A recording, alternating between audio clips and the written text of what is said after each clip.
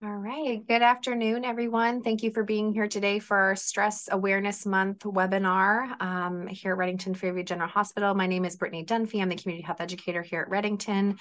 Um, in a moment, I will turn it over to our speaker for today, um, who is De Denise White, our clinical staff development specialist here at Redington Fairview. Um, just a couple housekeeping items. Um, this is the webinar platform of Zoom, so you do not have the option to come off of Zoom, uh, come off of mute. Um, there is a Q&A feature, chat feature um, in the webinar. So if you do have questions or comments throughout the presentation, please um, pop those into the chat. Um, after the presentation, we will have a brief survey that I'm going to put the link into the chat. So if you would just consider um, taking some time to fill that out, it just helps us know how the webinar went for you, how our speaker was, how the topic was, and it just helps us plan future classes. Um, so without further ado, I am going to um, bring in Denise White, our clinical staff development specialist, to introduce herself and start presenting.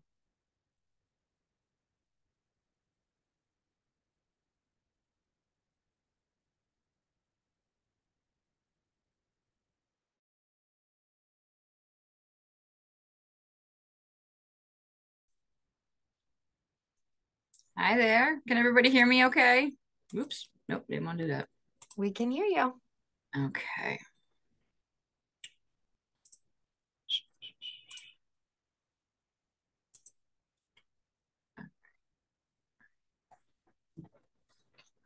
Well, hello, everybody, and thank you for coming. Um, as Brittany said, I, my name is Denise White, and I am the Clinical Staff Development Specialist here at um, Redington Fairview. A little background on me. I um I am a nurse. I've been a nurse for 25 years. Uh, I worked night shift in the ICU for 23. I uh, did a year of management, and I've been in education for a little over two years now. So that being said, let me share my screen. Mm, yep, share.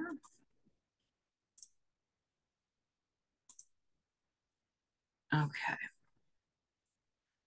All right. Brittany, can you tell me if everybody can see that in presentation mode? Yep, we can see it. Perfect. Okay. All right. So today's talk basically is on stress, stress, injury, and illness, and then creating a stress toolkit and why you need one. Um, at this point, I will tell you that I can't see anything, Brittany, in the, the chat or the Q&A. So if you could keep an eye on that for me, I would appreciate that. So stress toolkit, what is it and why you need one? Well, before we decide why we need one, we really need to talk about what is stress. Um, is stress bad? Not all stress is bad, but what is stress? Stress is feelings of emotional or physical tension that come from an event or thought. Not necessarily good, not necessarily bad. Okay. Um, can stress be good? It can be. It can help you avoid danger. It can help you achieve a goal or meet that deadline you know when you have stress because you have that project that's coming up and you're kind of wringing your hands because you know you have to get it done. That can be positive. It can actually force you to get it done. The negative sides of stress is when it's chronic and it's continuous over a long period of time. So chronic stress um, without rest or recovery can lead to stress illness and injury. And let's get into actually what is stress injury. So stress is not bad. Okay. When you're stuck in stress, that's when it's bad. So, stress without rest or recovery. So, if you're stressed out at work and you're stressed out on your drive home and you are stressed out when you get to home and then you're stressed out when you try to go to sleep, and this constant cycle of constantly being in this stressed state, that actually leads to stress injury, um, which can be something simple as a headache, um, GI issues. Okay. It also leads into stress illness, which is a little bit more severe. That's where you get your depression and your anxiety, um, your substance use disorders, kind of your lifelong uh, stress illnesses. So, what are some causes of stress injury? And there are four main causes. Um, one is trauma, and it's not a, te- a technical definition of trauma, it's whatever you consider to be trauma. Okay. Um, you got into a car accident right? Somebody hit the side of your car. Nobody got hurt. So somebody else may not see that as a traumatic event. You, however, may find that a traumatic event. So it's whatever you consider to be trauma. Grief injury. Again, it doesn't have to be, you know, the death of a loved one. It can be the death of an idea, the death of an opportunity. Okay. Um, whatever you consider grief. And grief is not, um, I don't want to say this. Grief is doesn't have to be a death. It can be the death of an idea or a loss of some sort. Okay. So it's you lost a promotion at work. You definitely can grieve over that. Grieving is normal, grieving is natural, grieving is helpful. Okay. It, it helps us to move down the cycle. When you're stuck in grief, when it becomes an abnormal situation, that was what can lead to stress and stress injury. Moral stress simply of you know what the right thing to do is, but because of either inside or outside forces, you're not able to do that. So you get you have this ethical, moral conflict within yourself that can lead to stress. And then fatigue. I don't think I need to tell anybody what fatigue means. I think we are all very well aware of fatigue. But honestly, being tired can lead to chronic stress if you're never getting enough rest, if you're never, if your body is never having that chance to kind of reset and settle down, um, it can definitely lead to stress illness. So again, stress injury leads into stress illness when it becomes more chronic. So that comes into your um, post-traumatic stress disorders, your depression, your anxiety, your um, substance use disorders. So now that we kind of understand what that is, what are some signs of stress? Okay. So minor signs of stress, muscle tension, you get the headache, you're giving a presentation, you get the sweaty palms, you're, you know, a little nervous and you're anxious, a little bit irritable. Okay, those are minor signs of stress. And those are normal signs of stress. And we'll we'll get into the situational versus long-term in a few minutes. Um, but some major signs of stress, excessive guilt, shame or blame, kind of feeling out of control or panicked. This is when it starts to hit your your physical self as well because you have your GI issues. Um, you can have heart issues, heart palpitations, those kinds of things.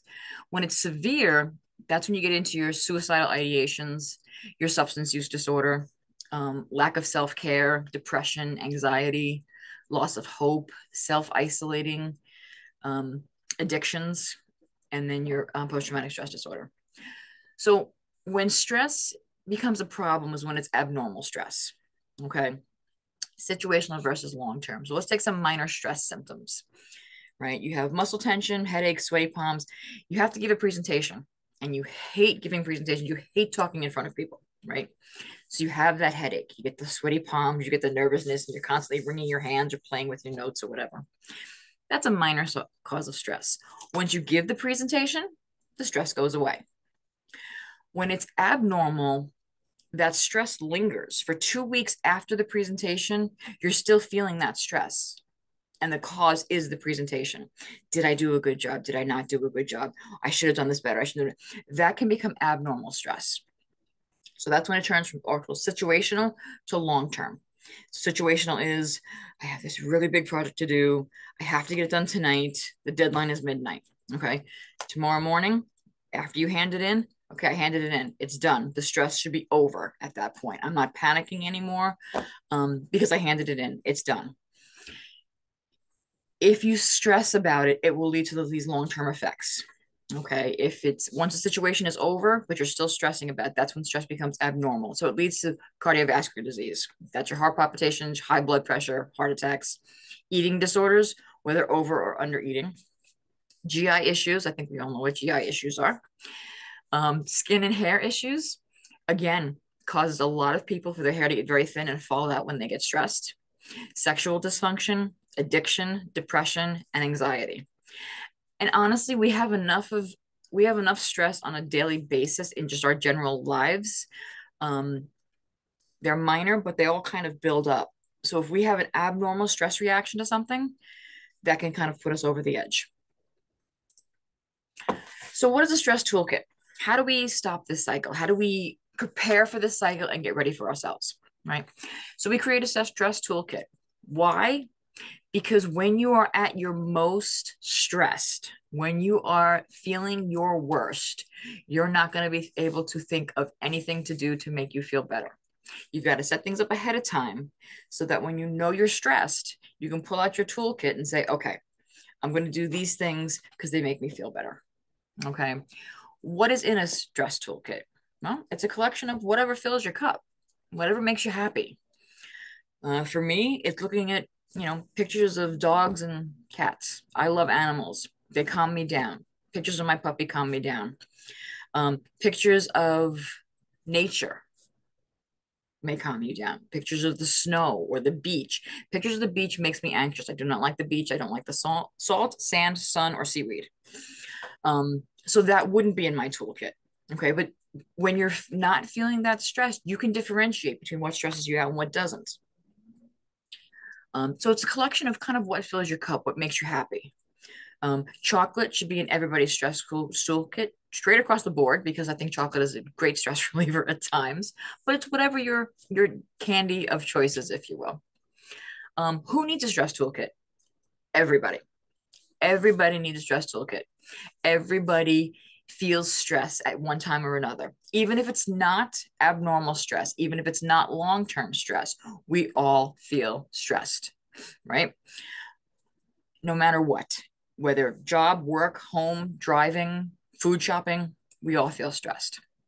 So, when do you create the stress toolkit? Well, now. Um, after this lecture, you're going to have the information and the questions and some ideas. So, your homework is to create your own stress toolkit. How do you go about doing that? Well, you're going to ask yourself a, certain number of questions. And when I mean when I say a stress toolkit, I don't necessarily mean a physical toolkit. Um, it could be something as a list on your phone in your note section, right? It can be a piece of paper that you keep folded up in your wallet or your purse. It can be really anything that works for you. Okay. You're going to ask yourself a couple of questions and it's going to be included in your stress kit. So, what are your warning signs? everybody has warning signs, whether you think you do or not. Um, you cannot always tell what your warning signs are, but if you ask your significant other or a close friend or a coworker, they can probably tell you. My husband can tell me what my warning signs are, and he notices them way before I do. Um, so, what are your warning signs? And make a list, write it down if you have to. I know that when I drink four cups of coffee because I have to have that extra little bit of caffeine, I know that I'm getting stressed. I limit myself to two cups a day. If I get to the fourth one, I know I'm getting stressed.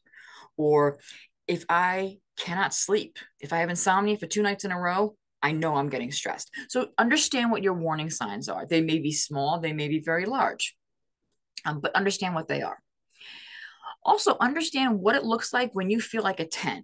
So when you feel like you're great, you're not stressed, you feel relaxed, you feel at peace, you feel content, what does that look like to you? How do you feel?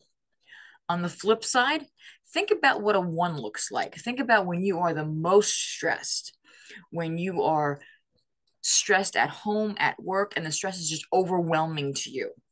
What does that look like? Know where you are. Okay. And what are your triggers? What sets you off? Is it bad drivers? Is it telemarketers? What are your pet peeves? What can send you into a stress tizzy? Okay. This one, who can I call? We all have lots of friends on social media and we all have coworkers and we all have friends that we have their phone, their numbers in our phone. But when you are really down and out and when you need that person who understands you better than anybody, who is that one person? Make sure their name and phone number is in your stress toolkit because you're not going to think about who can I call.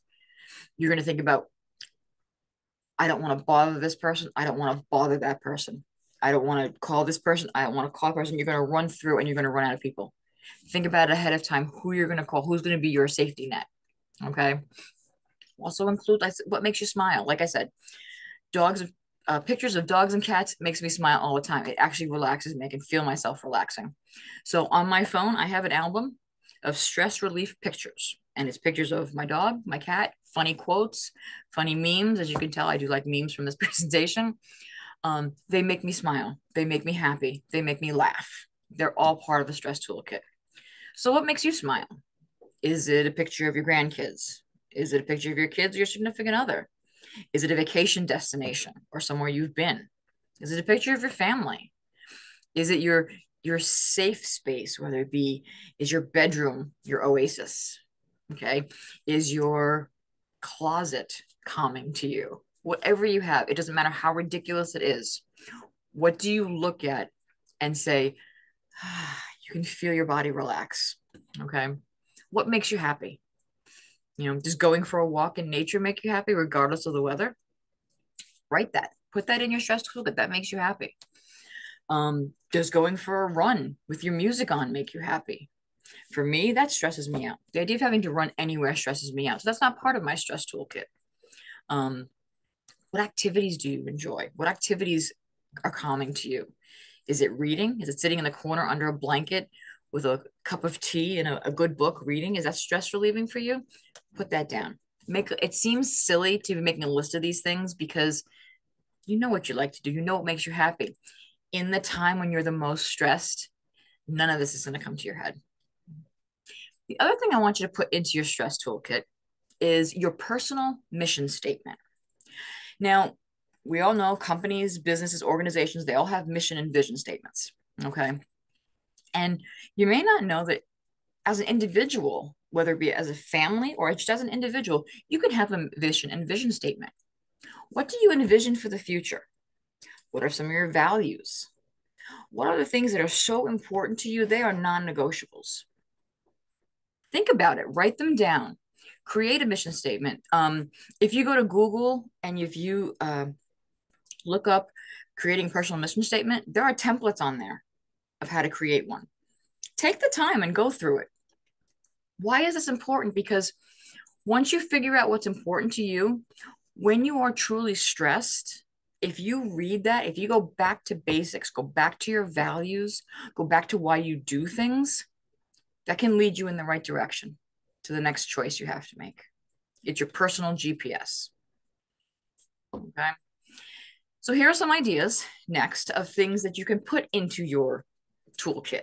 Okay. And we've mentioned a couple of these. So pictures, songs, create a playlist on your phone. Um, there's some songs that I like to listen to when I'm upset and I cry along with them. And there's some songs that I like to listen to when I'm angry and I kind of scream along with them. Have those different playlists, right? Um, have some quotes in there, right? Have some funny quotes. Um, have some funny memes in there. Letters or cards from loved ones. I can go back and read birthday cards from my mom um, with her little notes inside, you know, and they make me feel so much better. My mom died 28 years ago. But just having that in my toolkit makes me feel better. Laughing. Laughing is so important. Um, don't care. What what makes you laugh? Is it a funny movie? Is it a funny card? Um, is it just a funny situation? Is it a two minute clip from a movie that you have saved in your phone? Right? What makes you laugh? Social interactions, right? Who do you interact with that makes you feel better? This is important to think about because certain people will make you more stressed when you're stressed. And we all have those people in our lives and we know that. Okay. But who makes you feel better when you're with them?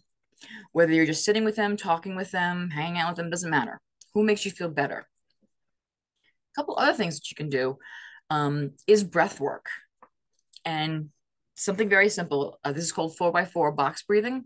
There's a couple of different ways to do this. I've heard like six by six or whatever, but um, the research that I've done, four by four box breathing is done by um, snipers in our military to calm them down, to ground them, to bring them back into focus so that they can concentrate and take the shot. And quite frankly, I figure if it's good enough for snipers, it's good enough for me on a daily basis, right? So what it is is four by four box breathing. So you're going to inhale for a count of four, you hold it for a count of four, you exhale for a count of four, and then hold that for a count of four. After you try that, try that a couple of times. It will actually, you can actually feel your body calm down. You can feel your heart rate slow, your blood pressure come down, and just feel more grounded in where you're sitting. Um, the other thing is physical activity. Does physical activity um, work for you? Something simple you can do sitting at a desk, sitting in your car, sitting anywhere. What you do is you tense your mus- muscles up, excuse me, muscles up really, really tight. So even if your arms, tense them up really, really tight. Hold it for like 10 seconds and then release it that actually releases chemical stress in your body. It makes your body relax. Um, aromatherapy. Uh, I heard the other day people use scented soaps for different moods, right? Aromatherapy for me is fresh baked chocolate chip cookies. I love that. But whether it be a candle, whether it be an air freshener, um, aromatherapy, they have little inhalers that you can use with essential oils, anything like that, whatever works for you. Stop, um, S-T-O-P-P, and there's it's not a mistype. There, it actually has two P's in it. What this stands for is um, the S stands for actually stop. The T stands for take a step back. The O is for observe. The first P is for um, for practicing what works, and the second P is for proceeding. Okay, so you're going to stop. If you're in a stressful situation, stop, take a step back, whether it's a physical step or just a mental step, right? Observe what's going on around you, be objective in your observations. Okay, then you're going to kind of plan what, see what kind of works, you're going to preview what works, and you're going to proceed with that. Um, gratitude again, everybody knows that gratitude is very important. Gratitude, uh, it's um, scientifically proven to make people feel better. But gratitude, I actually break it down to the smaller things. It makes you appreciate smaller things in life. Um, try a gratitude journal, right? Three things today that you're grateful for. And it's not the family and the friends and the job and the car. And we all know we're all grateful for that, right? It, that's not, it's the little things. It's the fact that the sun is shining and it was cloudy this morning. It's the fact that I have a hot cup of tea next to me. You know, it's the fact that my favorite song is playing on the radio it's the little things, but it makes you appreciate the little things so much more. The other thing is turn off social media and the news. Okay. Do not, when you are stressed, the worst thing to do is to get on social media or the news because it's going to make you more stressed. Right. The news very rarely is it good news. It's always bad news. If it bleeds, it leads. Right. That's what they say about the news. So it's always going to be bad news. Social media is not doing us any favors. Social media is a snapshot of somebody's life when it's perfect, and I use that term very, very loosely, um, and it gives us an impossible objective to live up to. Okay. So if you see a picture of a person's house and they just cleaned it and it looks beautiful, it looks perfect, and they snapped a picture. What you didn't see was five minutes later, the dog came in, the cat came in and threw up on the rug. There's dog hair everywhere. The three kids came in, and emptied up their toolbox, on, uh, their toy box on the floor. You don't see that picture. All you know is that this person has three kids and a couple pets, and their house is like this for a moment, maybe. Um, doodle or color. There are so many adult coloring books out there right now, and they're fun and they're good to have, and it keeps your hands busy and it kept your mind focused. Okay. A brain dump. Have a piece of paper next to your bed, have it on your desk, whatever. If your brain, if you can't turn your brain off, and this happens a lot of times at night to a lot of people, you just can't sleep because you can't turn your brain off because it's going and going and going and thinking of all the things you have to do. Right? Have a piece of paper next to you, write down. Write down everything that's in your head. Doesn't have to be in complete sentences, doesn't have to even make sense. Okay. If you're thinking of it, write it down and then deal with it in the morning. This one is my own personal favorite. Snuggle your pet. Um, if you have a cat or a dog or a ferret or a parrot, I don't care what kind of pet you have. There is nothing like that unconditional love that you get from a pet. Um, when you walk in the house and somebody runs to greet you and shakes their little tail and wag, wags their little tail at you and comes and gives you a big old kiss, how can you be stressed at that? Right? wash your face. This was an interesting one. And I actually did some research into this one. By the cold water actually hitting your face, it's grounding to you. It takes you out of that stress cycle. It brings you back to reality. Um, which is something you can do very easily. Go in the bathroom, splash some water on your face, right? Plan some stress management activities, okay? Or shall I call them self care activities? Whether it be a vacation whether it be an exercise class, whether it be a manicure, whatever you find self care, or taking a bath, right? Turning off everything and reading for 30 minutes, whatever it is, plan some of them, put them into your calendar. Um, but also have a list of ones you can do again in the moment the breathing, the stop, the uh, aromatherapy.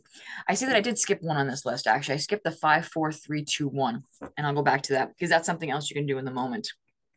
So it's five things that you see, four things that you hear, three things that you feel, two things that you smell, and one thing that you taste.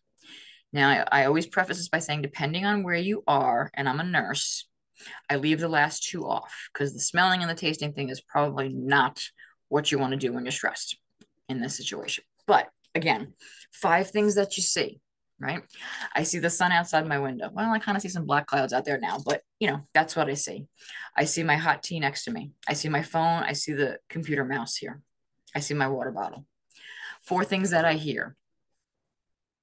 I hear the air handler in the hospital. Okay. I can hear a little bit echo in my headset, my headset. Uh, three things that you feel, right? I can feel the, the window. The window is cold. I can feel the heater. The heater is hot. I can feel the desk. The desk is hard and firm. All of that brings you back. It grounds you and it brings you into the present moment. All right. Um, so I bet you guys didn't think you had homework today, but you do. So your homework is to create your own stress toolkit.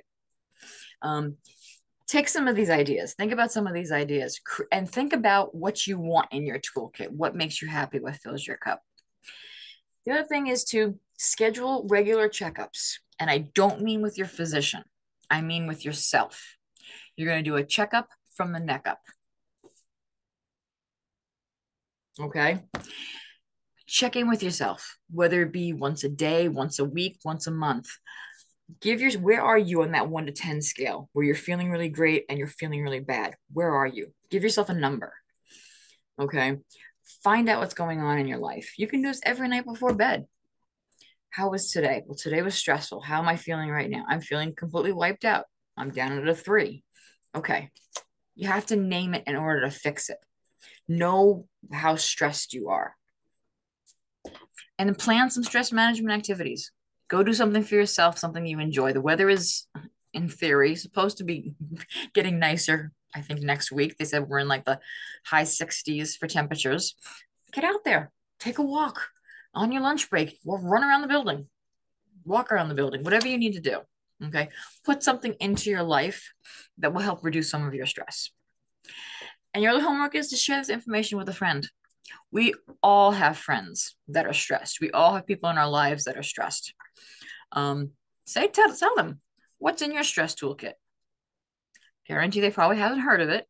Um, you can look it up online um, and everything. You can tell them, I'm worried about you. You're stressed. Here's what you need to do stress uh, t- stress toolkit. Here's what's in mine. Okay. Um, so I generally end with homework, but that's it. That's the presentation for today. Uh, I'm going to stop sharing my screen here real quick if I can find it. There we go. Um, okay. So um, is there anything, any questions that came up? Anything in the chat? Anybody want to kind of um, put in the chat, maybe mention what some of the things that are going to be in their toolkit? What's some things they find that are stress relieving to them?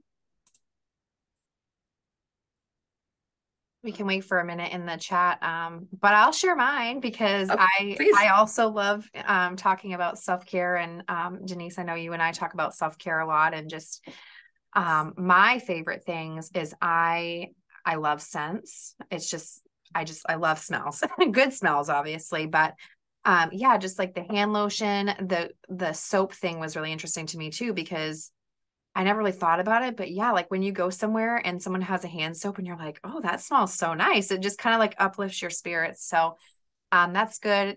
Cozy blankets being cozy and comfy is always good and pictures of animals pictures of my puppy stuff like that but yeah great talk denise.